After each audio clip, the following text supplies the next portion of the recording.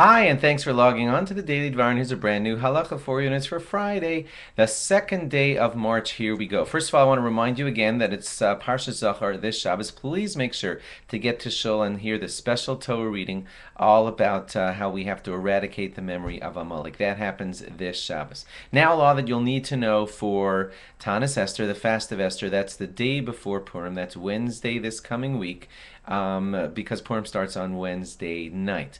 All day Wednesday will be the fast of Esther, and that fast starts at uh, 72 minutes before sunrise, and then it ends. Um, well, it's a little shaky there on how I should say it ends. It really ends after you hear the reading of the Megillah. Okay.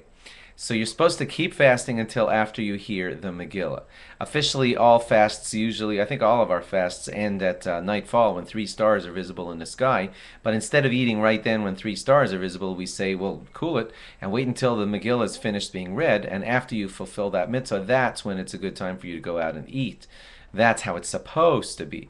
And uh, that's what I would suggest you do. Now, if you're feeling weak or sick and uh, you're feeling like I'm not even going to be able to make it through the Megillah, then there are those who say you should speak to your rabbi that a small, small drink of something just to get you through the reading of the Megillah would be acceptable if you need to. So speak to a rabbi certainly in advance if you know that that might happen to you, so that you'll be like you know all prepared in advance for this situation.